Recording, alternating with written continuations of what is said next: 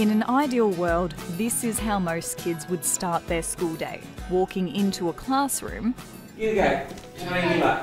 Gini guys, ini. Gini guys, kaki ini. Kailan, mana gila? where the first words spoken are from the first language of that area.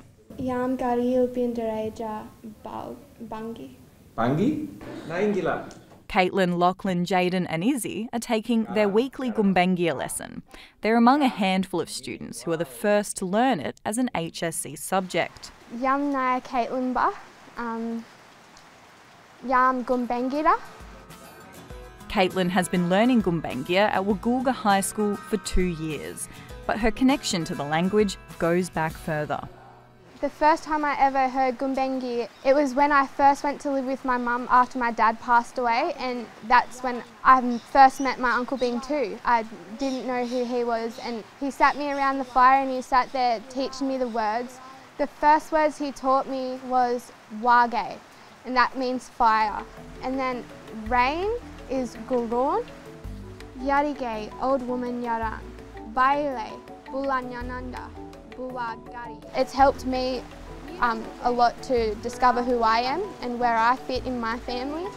And she thinks having language lessons taught at her school has helped in an even broader community reconciliation. Before the language come in and everything like that, there was a lot of bullying and that, and like not just to Indigenous people, but the other way.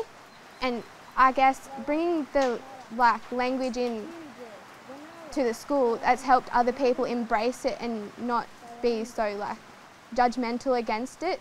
That's one of the biggest things I notice is that our whole school community has just become so connected and so um, ready to absorb anything about you know the the culture of where we're actually living, where we are, and it's pretty amazing. The language has already brought this school together. But for two best mates, it's done something more.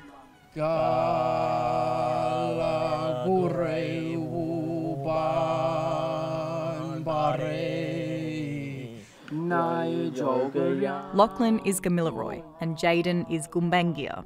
They're singing a song about initiation that Jaden's great great great uncle used to sing ever since year three, we've been pretty much brothers, as close as brothers. That's how we count ourselves. We yeah. don't even worry about the blood. So to come up, learn the culture together, um, to learn to start play didgeridoo together, to learn the language together, to learn songs stories together, yeah. to do the songs.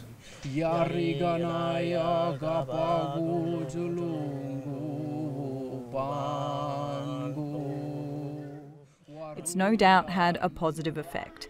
But for these students studying it as part of their HSC, there is one catch. It won't count towards their ATAR score. Teachers like Dunghutti woman Courtney Hine say it might just be a matter of time before that changes. We had to have so much support from the outside community, so much support from the elders. Like it took a long time. Like the language started off as you know, a small group of Aboriginal kids and a teacher teaching, you know, when they had the chance, like outside of school hours, in the afternoons or something like that. And now it's, you know, in the curriculum. It's pretty cool.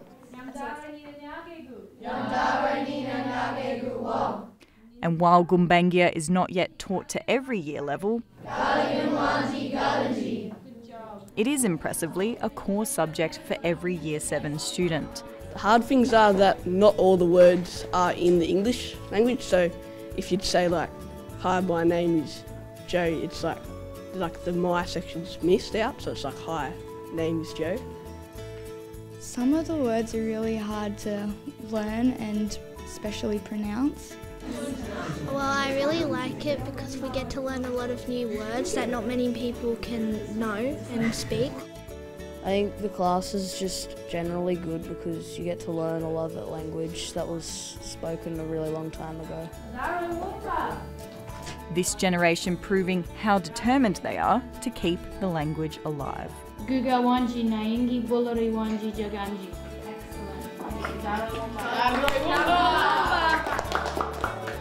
I want to keep it in, in my blood so when I get older I can teach it to the younger generations as well and so they can it just keeps on.